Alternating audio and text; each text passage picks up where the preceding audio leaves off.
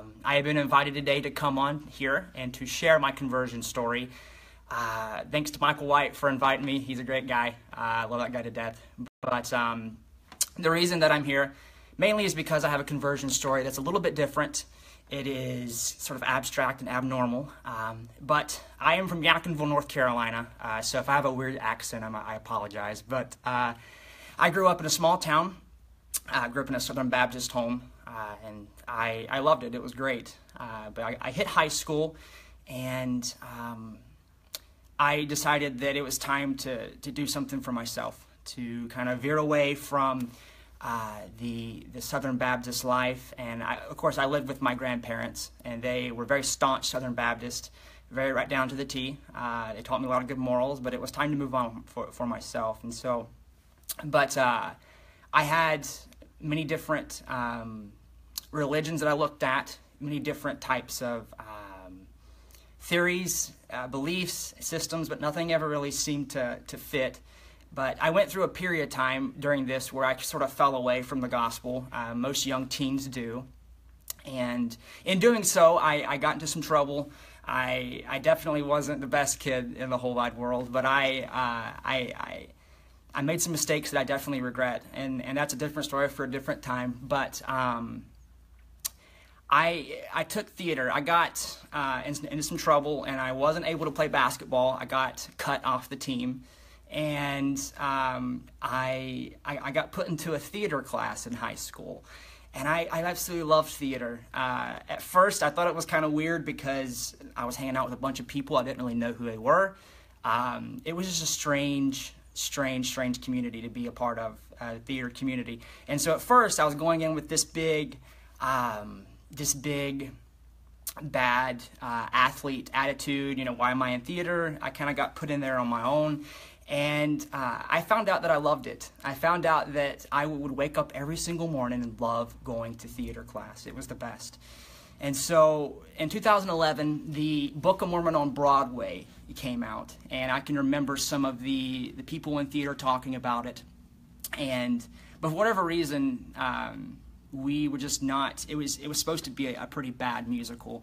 And so the next thing i know is i was so interested i went and i actually started listening to the music uh, online and i found that i was that's all i was listening to. I became so obsessed with the musical but i had never heard of a mormon before ever in my entire life that i ever heard of a mormon. Uh, so this was a new thing to me the, the word mormon right? Um, and so the next thing i know i'm on a plane to new york I am I am all the way up in New York by myself. I think I'm 17 years old at this point. I don't remember why. I, it just came over me to make one of those hasty decisions to go up there, and I went and watched the musical. That was a very expensive, big penny out of my pocket to go watch that musical. Um, and I didn't know what was going on. I had no clue that this was a religion. I had no clue that this was anything. But I can remember looking at the musical and watching it and thinking, my goodness, like, this is the craziest thing I have ever heard of in my entire life. These people are so weird, right? I, it's so different from my Southern Baptist lifestyle, and the missionaries were so faithful, but it like corny faithful. It was just, it was strange to me. Um, but uh, I, I left the uh, the theater and I, got, I hopped back on a plane. I came back to uh, Yadkinville, uh, well, there in Charlotte, and I just became obsessed with I with this religion. I, I don't remember exactly what it was that came over me, but all I could think about was just learning more about the religion. That's all I wanted to do was learn more about the religion. And so I I I went as far as stealing books out of the library. Uh, because the, the librarian at the time would not allow me to check out Mormon books. Anything related to Mormonism, she told me that I would go to hell. I walked in with a, with a backpack on and I, I put it in my back pack and I left and I stole them. I've since repent, re- repented, so don't hold that against me. But uh, I did everything online, um, books. I mean, you, name it. I was researching it, and I can remember thinking, "Wow, this is the craziest thing religion I've ever I've ever came across. It's so abstract, so abnormal." Um, but I I, I woke up one morning on a Sunday and, and I said, I, it's time to meet a Mormon because where I come from in my small little Southern Baptist county, you don't find Mormons where I come from. And, and so I said, it's time to, time to get up and go and find um, Mormons.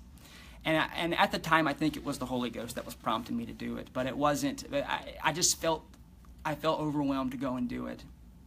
And uh, so I called a friend up, and and her and I got into a car. She I don't remember if she was atheist.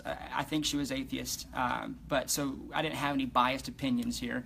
And we got in the car and we went down to um, to the local Mormon church. Was this probably about 25 to 30 miles? So that's that's the nearest one to where I was. And um, and so I I got out the car and I I just we just walked in to the church with no expectations. This is the same year that Mitt Romney was running for president, so he sort of intrigued me a little bit.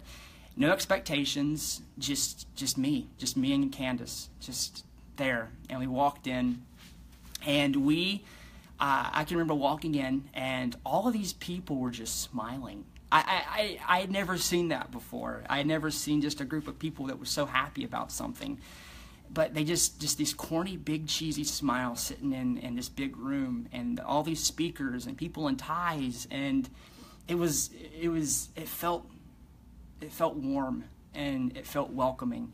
And i sat in the back and um, and candace and i sat in the back and we we sat there and we, and we made it through the whole whole um, the whole sacrament meeting. And and i can uh, remember someone turning around and shaking my hand and asking me where are you from? What, why are you here? What ward are you from? And the word ward, I never heard of that word before. And uh, I said, I'm from Yadkinville, and I don't know what a ward is. I, I'm, I'm just here, I'm Southern Baptist, just, just to learn about Mormons.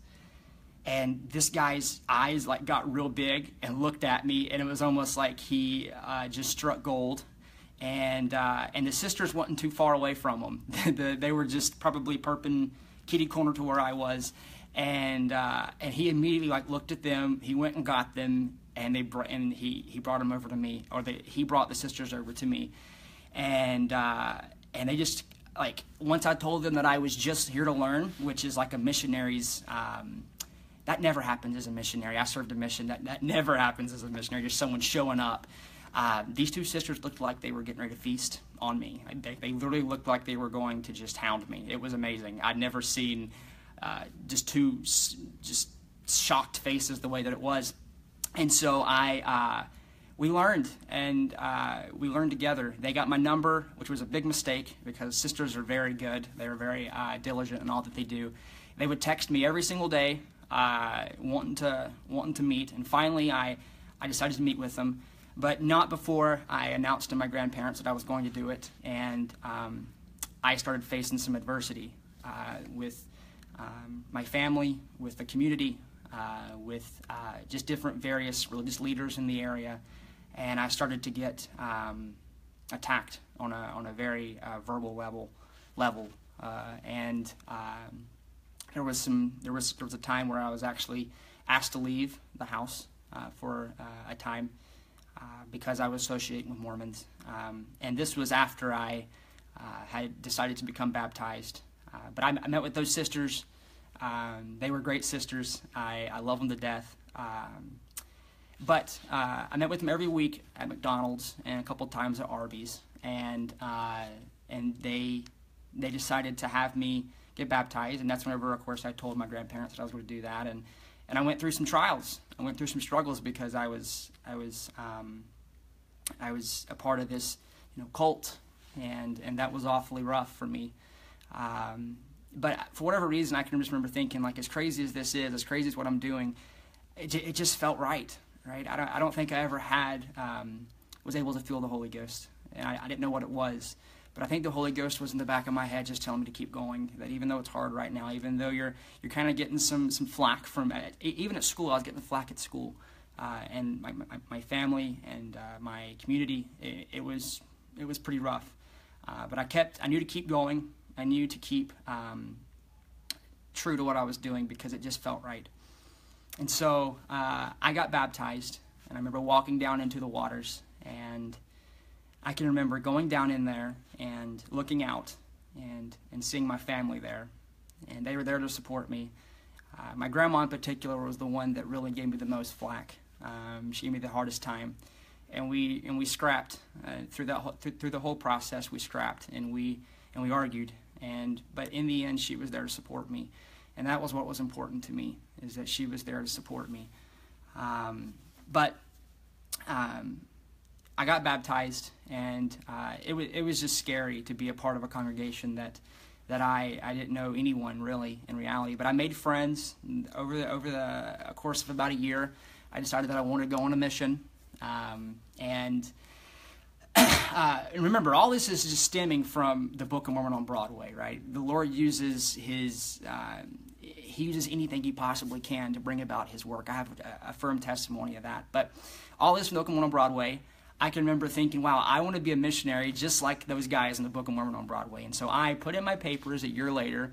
I got my call to Argentina, where I flew to Provo about three months later after I got my call. I, uh, and then I learned a little bit of Spanish. And then I went down to Argentina um, and I faced some serious trials. I, even though I was going off of all this, um, uh, this, this, this want to be a missionary, I realized I didn't have a firm testimony. I realized that it was tough testifying to something that you didn't know was true. And I got down there and I picked up some, some different various things, uh, medical, medical things, and I realized that I was testifying to something that I didn't even know was true.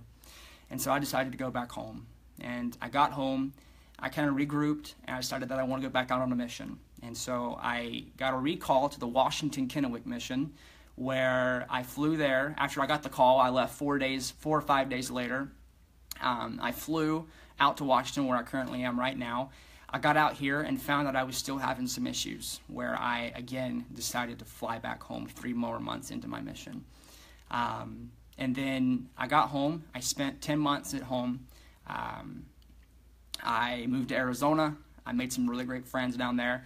I moved to Provo, and I made some even better friends up there. And then uh, about 10 months later, yeah, t- yeah, 10 months, I, I got down there, and I remember looking at my phone, and it was my mission president. And he, he told me, he said, Elder Hutchens, it's been 10 months, and um, but I, I just felt a prompting that you need to come back to the mission. And so once again, uh, and this is a, a, long story for a different time, but uh, once again, I was on a plane back to the Kennewick mission for the third time, starting my mission.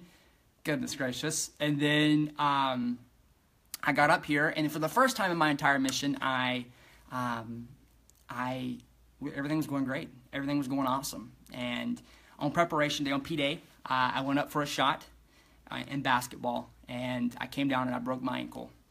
And I I can remember just thinking, my goodness, when is this ride ever going to end? This is the and this is a this mission was it was nuts. It, it, it, wasn't right. It seemed like from the, the very beginning of my conversion that I had just saw this all this adversity and all this trial. And I came down, broke my ankle, and probably three or four days later, I was back on a plane uh, to Provo to, to Provo and I was off my mission. And I did not want to go back whatsoever. I had no inclination, I had no desire to want to go back. I was done. I didn't want to go back. Uh, but I ended up going back. I ended up finishing up my mission. Um, it, it, was a tough decision. Again, different story for different time. But um, I finished my mission about four months ago, and I'm excited that I did it. I'm excited that I served a mission. I'm excited that even though I faced adversity, even though I saw adversity, I was able to to do the, the Lord's will. And, and just to finish, I I I want to testify and I want to just share a scripture um, as I've shared my story here of, um, of hardships and of afflictions because we as human beings have them every single day. Every single day. Um, uh, Paul, my favorite, he's one of my, he's, he's my guy, the Apostle Paul. Um, the Apostle Paul had an affliction of his, of his own, the, the great missionary that he was. And, and he speaks of this affliction. And, uh, and he says, And lest I should be exalted above measure, through the abundance of the revelations, there was given to me a thorn in the flesh. So he had some sort of an infirmity or something going on with him. And the messenger of Satan to buffet me, lest I should be exalted above measure. And he asked God three different times to take it away from him. Three different times to take it away from him, but yet it just it never went away. And then Paul goes on to say, And the Lord said unto me, My grace is sufficient for thee, for my strength is made perfect in weakness. Most gladly, therefore, will I rather glory in my infirmities, that the power of Christ may rest upon me. Therefore, I take pleasure in infirmities, in reproaches, in necessities, in persecutions and distresses for Christ's sake. For when I am weak, then am I strong. Brothers and sisters, I have a very firm testimony of adversity and of grace. And I, I know that it is essential to our, our well being, is essential to us growing, to us making it to a higher level as human beings. We cannot, we cannot sit stagnant. We cannot be just sitting stationary. And I know that as adversity comes, even though it may be hard, even though you may face adversity, I know without a shadow of a doubt that that adversity is, is there to help you. And the Lord has a plan for you. Oh my goodness, He has a plan for you. And don't ever doubt that. Even though you may seem like you're the lowest point of your life and you may seem like the world is against you, I know that. I know the Lord has a plan for you. And I know that He loves you so unconditionally. And even though it might seem hard, just trust in the Lord, as Proverbs tells us. And just know that His grace, that Christ's atonement, can help you be made perfect, can help you in your weakness, and He can help you come to a level and be at a level that you never could imagine possible. Brothers and sisters, trust in the Lord. I know that Joseph Smith was a prophet of God. I know that he was. And I know the Church of Jesus Christ of Latter day Saints is the true church and a true kingdom here on earth of God Himself. I say these things humbly in the name of Jesus Christ. Amen.